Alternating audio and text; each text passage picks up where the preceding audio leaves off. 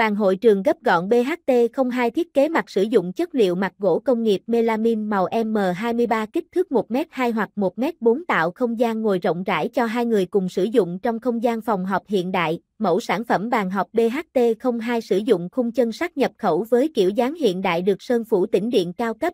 Phần chân bàn trang bị các bánh xe bằng nhựa hỗ trợ quá trình di chuyển và sắp xếp bàn trong không gian hội trường. Bàn thiết kế phần mặt bàn có thể gấp gọn giúp tiết kiệm không gian bảo quản khi không sử dụng đồng thời dễ dàng di chuyển và bảo quản sản phẩm hơn. Bên dưới mặt bàn trang bị một đợt để đồ bằng thanh sắt chắc chắn.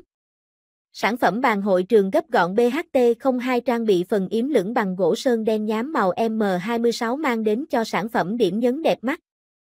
Nếu thấy video hay và ý nghĩa các bạn hãy nhấn like và đăng ký kênh để nhận được thông báo mới nhất nhé.